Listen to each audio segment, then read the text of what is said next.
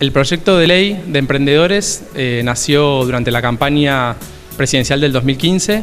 El presidente Macri nos pidió que trabajáramos junto a todas las organizaciones del ecosistema emprendedor en Argentina para que podamos evaluar cuáles son los principales desafíos de emprender y cuáles podrían ser las eventuales soluciones a esos desafíos.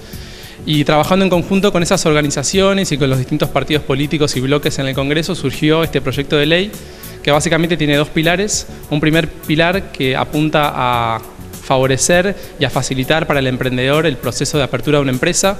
Hoy en Argentina es muy costoso, eh, se tarda muchos días y se tienen que hacer muchísimos trámites con distintas dependencias de gobierno para poder abrir una empresa. La idea es acortar esos tiempos, facilitar que los primeros trámites puedan ser digitales y que el emprendedor pueda abrir su empresa en pocos días y también obtener su cuenta bancaria y su quit en pocos días.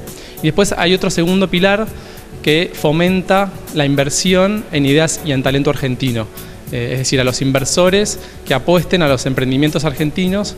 Eh, la idea, y esto lo está debatiendo el Congreso, es darle ciertas exenciones impositivas para favorecer y para incentivar a los inversores a apostar a las empresas que surjan en nuestro país. El emprendedor de Rosario o de la provincia que quiera acceder a un PAC emprendedor o un fondo semilla tiene que acercarse a la incubadora más cercana, recibir el asesoramiento y lo van a ayudar a armar el plan de negocios que luego nosotros evaluamos y monetizamos.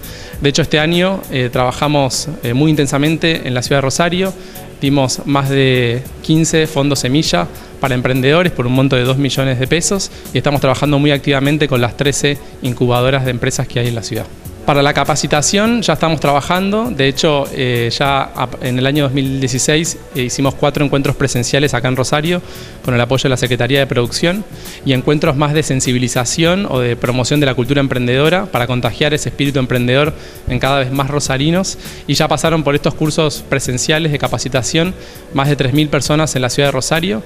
Y la idea es potenciar todo este esfuerzo que hacemos presencialmente en la ciudad con una plataforma que vamos a lanzar en el mes de mayo, donde todos los emprendedores van a poder recibir los mismos contenidos que se adquieren en el curso presencial de manera virtual. Este año tenemos la expectativa muy grande puesta en la sanción de la ley no solo porque va a ayudar a los emprendedores a formalizar sus negocios, sino también porque creemos que los incentivos que estamos otorgando a los inversores pueden realmente impactar de manera positiva en el acceso al financiamiento de los emprendedores. Creo que hoy Argentina tiene un gran desafío que es bajar el costo de acceso al capital y esta ley justamente genera incentivos positivos para que cada vez más eh, inversores decidan apostar por el talento argentino. Para más información sobre nuestros programas, las herramientas de apoyo a emprendedores, pueden ingresar al sitio web del Ministerio de Producción de la Nación, que es eh, www.producción.gov barra emprendedores.